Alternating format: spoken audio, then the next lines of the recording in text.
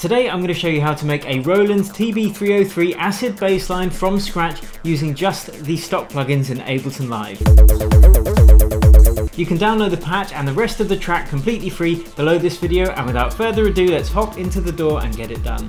It's the Roland TB303 bass machine that I'm going to be replicating. Classic techno acid sound and this is something that Charlotte de Witte, is that how you pronounce her name? She uses this sound and you know loads of techno artists do. So let's get a little riff on the go. I'm going to use the analog synth in Ableton in the nature of doing everything with stock plugins and let's have a look at what is going on. So the 303, the TB303, they are very expensive now, but they are monophonic synths. So the first thing I need to do is turn it to mono. And before I tweak with the sound, let's just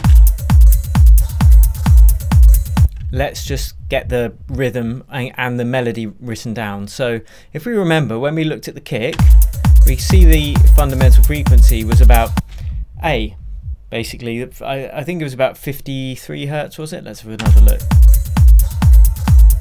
Yeah, so it's about, if you look, it's got the hertz and then underneath the actual note on the keyboard that it is. So 54 hertz is A.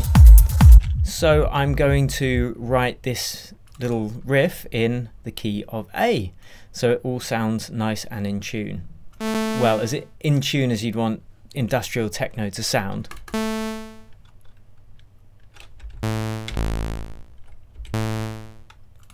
I'm just going to do a little simple riff.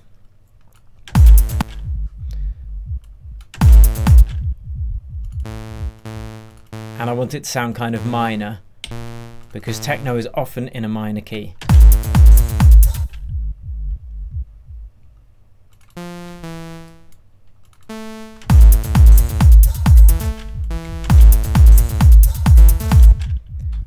Okay.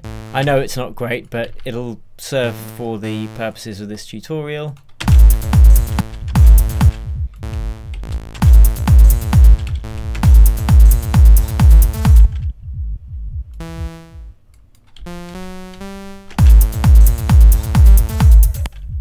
And I'm just going to loop that.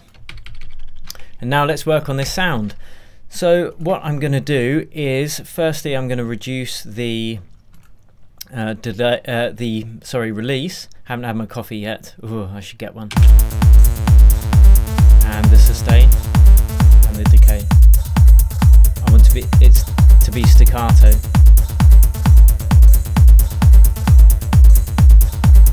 And I'm going to turn the glide on. That is a classic part of the 303 sound. So you can hear it sweep between the notes.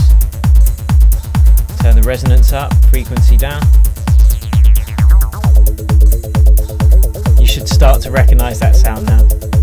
But that doesn't sound nearly filthy enough, am I right? If so, give me a hell yeah in the comments below. Actually, don't give me a hell yeah, give me an amen. Alright, okay, let's get a lovely bit of distortion on there. So I'm going to use the, yeah, okay. I'm going to use the overdrive because again, all stock plugins. So let's do it. I'm just going to drive this and get it sounding absolutely filthy. Turn